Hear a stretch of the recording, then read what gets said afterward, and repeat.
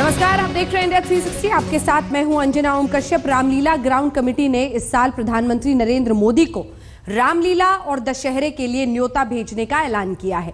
Committee का कहना है कि कांग्रेस नेता जेपी ने, जेपी अग्रवाल ने फैसले का विरोध किया, जिसके बाद संरक्षक पद से उन्होंने इस्तीफा दे दिया।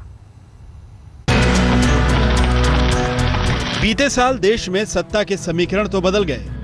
लेकिन रामलीला मैदान में बादशाह बहादुर शाह ज़फ़र के जमाने से चली आ रही रामलीला की उत्सवी तस्वीर नहीं बदली।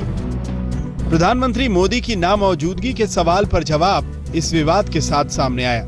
विवाद इस बात का था कि मोदी साहब को प्राइम मिनिस्टर है उनको बुलाया जाए या नहीं बुलाया जाए इसका विवाद था पॉलिसी मैटर था तो इस पे थोड़ा डिफरेंस ऑफ़ ओपिनियन था।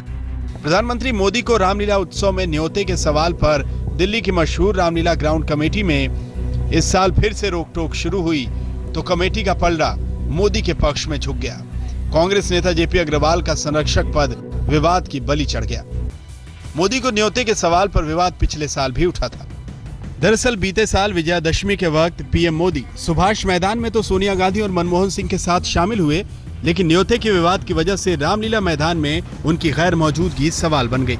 रामलीला कमेटी के संरक्षक जेपी अग्रवाल की मंशा को विवाद के पीछे की वजह बताया गया और किस्सा इस साल भी दोहरा पाता कि कमेटी बढ़ गई। जेपी अग्रवाल पर आरोपों की तलवार तन गई।